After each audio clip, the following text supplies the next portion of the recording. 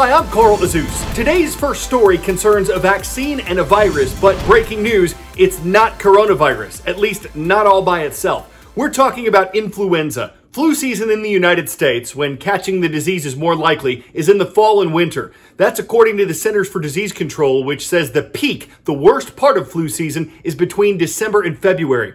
The flu vaccine is not the perfect solution. The CDC says when it's a good match for the flu viruses that are actually going around, the vaccine is between 40 and 60% effective at keeping people from having to go to the doctor for flu symptoms. In some years, the vaccine is less effective because it's not a good match, and the shot itself can cause side effects like fever, nausea, and muscle aches. But health officials say it's the best way for people to reduce their chances of getting the flu and spreading the flu. In a typical year, about 45% of Americans get the vaccine. It's the same in Britain. But you don't need me to tell you this ain't a typical year.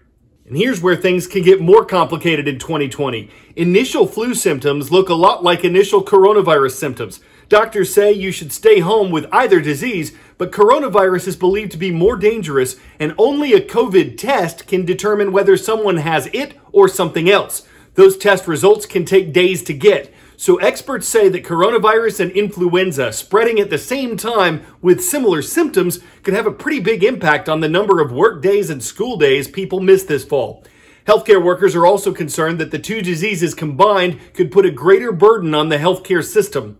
We've got Dr. Sanjay Gupta in the house now to answer some frequently asked questions about flu in the time of coronavirus. How can I safely get a flu vaccine in the middle of this pandemic? A very fair question. People want to maintain physical distance. How do you still get a flu shot? Well, luckily, many places around the country are offering drive through flu shots. Many are offering curbside flu shots. And if you go to your local drugstore, some of them even offer the flu shots within the drugstore while maintaining safety protocols. I understand the desire for social distance, but I think it's also important to get a flu shot this year. It's important to get one every year, but perhaps even more important this year because we're probably going to have a convergence of both flu and coronavirus this fall. So anything we can do to reduce flu, I think is going to be really important. Will the flu vaccine protect me from coronavirus as well? Unfortunately, no. These are both considered respiratory viruses, and many of the symptoms can be very similar a cough, a fever, sore throat. But unfortunately, the flu shot does not protect you against the coronavirus. Can I get coronavirus and influenza at the same time?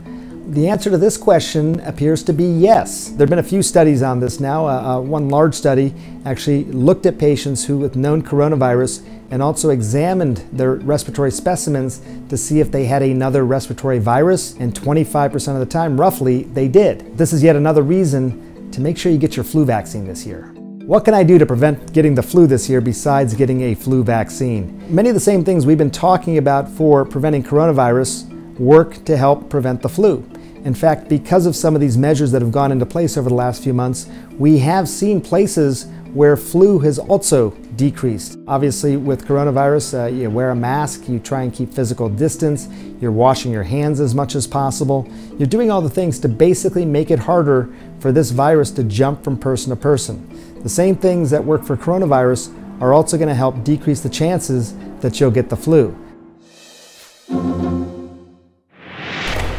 More than half of all the young adults in America are now living with their parents. This is according to a new report by the Pew Research Center, an organization that looks at demographic trends and public opinion.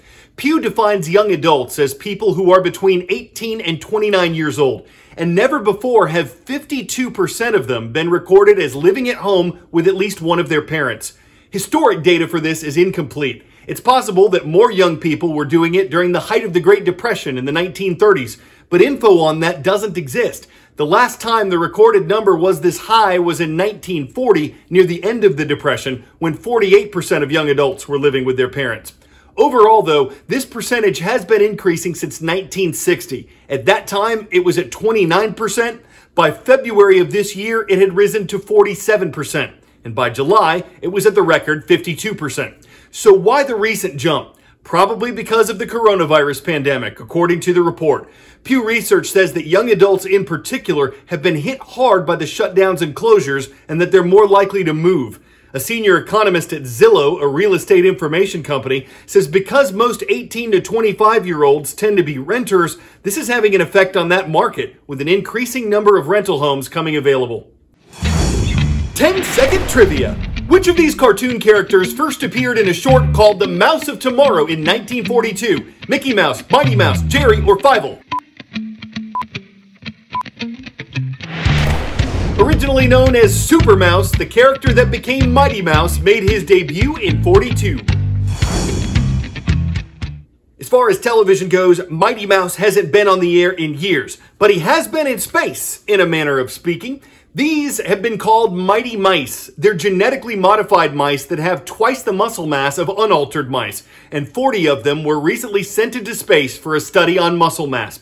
Without the daily force of gravity, People and mice normally lose muscle. NASA says in space flights lasting 5 to 11 days, astronauts can lose as much as 20% of their muscle.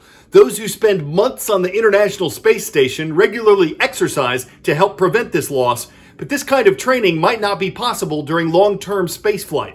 So scientists have been experimenting with mighty mice to see if a drug could be produced one day that could help astronauts keep their muscle in a microgravity environment.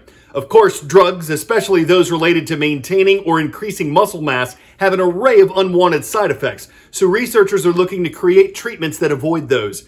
And as far as the mice were concerned, the genetically altered ones were able to keep more of their muscle mass in space and recover it faster once they got back down to Earth. Speaking of Earth, there have been some unusual weather patterns taking place in the United States this month. We told you yesterday how western heat waves have been worsening conditions for California's record wildfires, but move east to the Rocky Mountains and you see a very different picture taking shape. Wind speeds of 99 miles per hour. That's a force of a Category 2 hurricane were recorded Tuesday in part of Utah. CNN 10 contributor Tyler Mauldin tells us how that's part of a dramatic temperature change for the region. Tyler. Carl, from record heat to record cold, a dramatic temperature swing has hit the country this week. Temperatures above 100 degrees were being felt from the Rocky Mountains to the West Coast Labor Day weekend. But fall, if not winter like air, is now moving down from Canada as the jet stream dives south.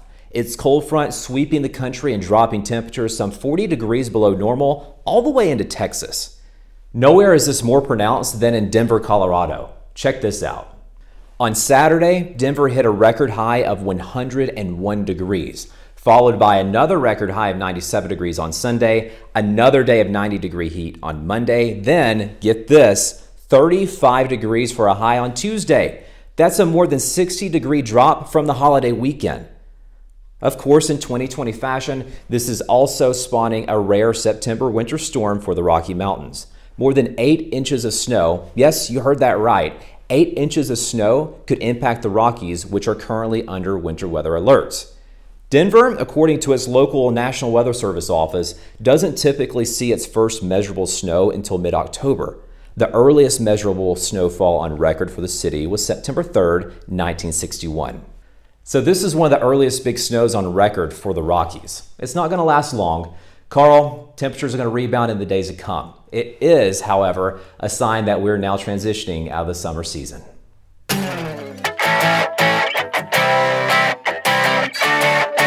The 1980s, an avant garde composer named John Cage wrote a musical piece entitled As Slow as Possible. To play it would take 639 years. A church in Germany accepted that challenge in 2001, and if all goes according to plan, the performance will wrap up in 2640. So why is this making news now? Because just last weekend, the piece made its first chord change in seven years. The next one won't happen until 2022. It's definitely a piece for the ages with no sudden movements. But Adagio, critics would say Adagi no. They'd rather Largo do something different. They andante want to wait for something that Adagi slow. Musical puns. They got a ring to them, y'all. I'm Carl Azuz for CNN 10. Soda Springs High School gets today's shout out. It's in Soda Springs, Idaho. And while I don't personally choose the schools we mention, they are picked from the most recent program on our YouTube site.